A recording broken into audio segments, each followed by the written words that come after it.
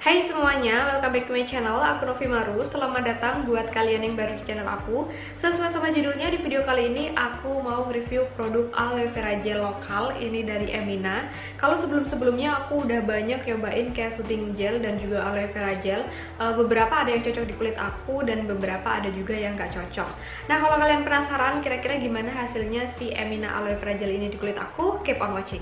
Aku akan mulai ngebahas dari packagingnya dulu. Untuk packagingnya dia kelihatan kayak gini ini bentuknya tube dari plastik transparan terus kayak ada uh, warna hijaunya gitu ini kayak gambar aloe vera. Terus di bagian belakangnya ini ada keterangan-keterangannya dan ini satu kemasan isinya 60 ml untuk teksturnya dia gel warnanya bening terus wanginya soft banget. Dan ini tuh kalau udah di blend kayak langsung nyatu ke kulit dia nggak lengket malah kayak air gitu Produk ini tuh mengandung 92% aloe vera extract. Selain itu dia juga ada kandungan centella asiatica, licorice, citric acid, glycerin, allantoin, rosemary, dan lain-lain.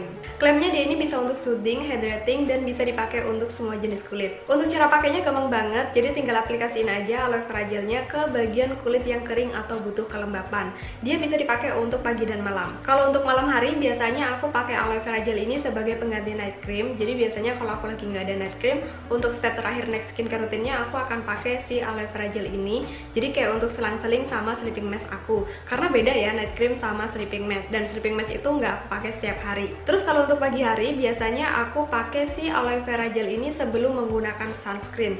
Kalau misalnya aku lagi nggak pakai tone up cream ya tapi kadang aku juga pakai si aloe vera gel ini sebelum menggunakan tone up cream. Kalau misalnya aku lagi ngerasa kayak butuh efek soothing aku akan pakai si aloe vera gel dari Emina ini dulu. Baru setelahnya aku menggunakan tone up cream terus sunscreen. Tapi sebenarnya aku lebih sering pakai si Emina aloe vera gel ini kalau sore hari. Jadi kalau misalnya aku mandinya sore terus waktu sore itu kan aku nggak pakai rangkaian next skincare rutin dong. Jadi aku akan pakai hydrating toner sama si aloe vera gel ini. Nah nanti malamnya baru aku pakai rangkaian next skincare rutin aku. Dan beberapa hari yang lalu aku sempat ada inflamasi di bagian bawah mata sini. Dia nggak lebar tapi berasa kayak agak perih dan agak merah gitu. Terus aku pakein si aloe vera gel dari Emina ini karena kan dia ini bisa untuk soothing nah setelah aku pakein tuh kayak berasa dingin tapi berasa agak perih pas awal-awal. Tapi setelah itu kayak perihnya cepet banget hilangnya.